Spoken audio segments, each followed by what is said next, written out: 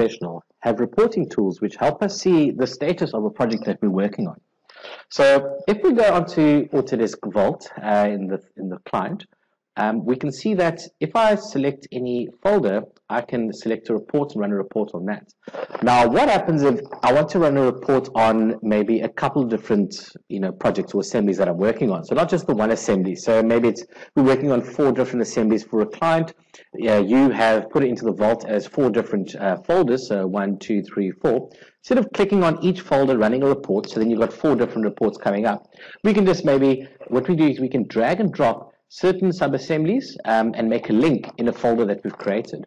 So if I go and create a folder,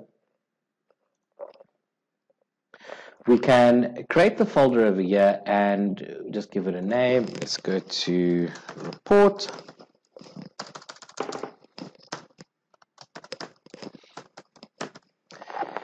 And in that report over there, I can then go and drag and drop and link or link drag and drop components um, of different assemblies. So I go to my sub-assemblies over here, and I want to say, for instance, get a report of these four assemblies. So I'm just right-click dragging in there, and it tells me to create link.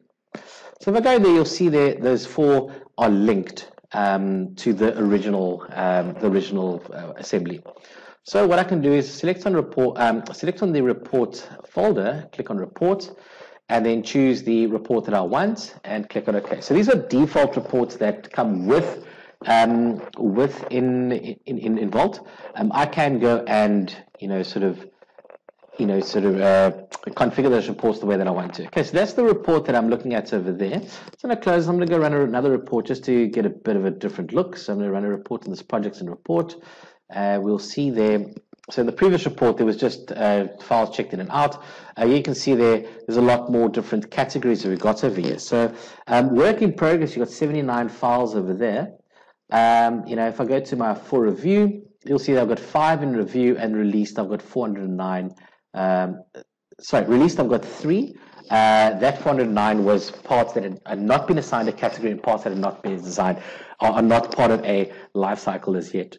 So now that's great to look at it in you know the reports in this way, but how do I visually uh, take a look at those reports um, in my Inventor side? So um, if I go to my Inventor, you'll see I've got this components or this, this assembly over here.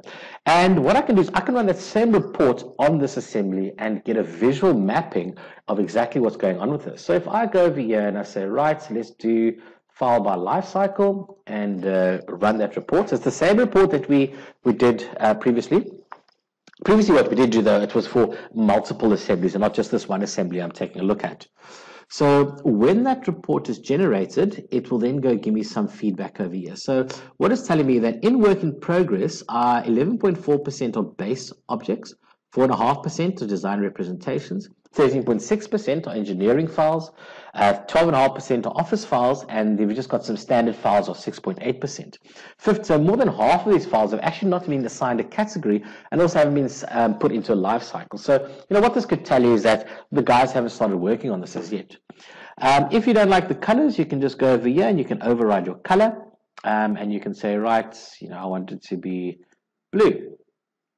Uh, this one, let's make this uh, a green color. So nice bright green over there.